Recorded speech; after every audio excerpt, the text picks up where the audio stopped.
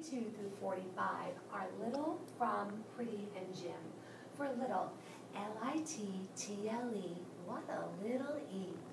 L-I-T-T-L-E, what a little E. For the word from, F-R-O-M-O, it's from me. F-R-O-M-O, it's from me. For the word pretty, P-R-E-T-T-Y, what a pretty E.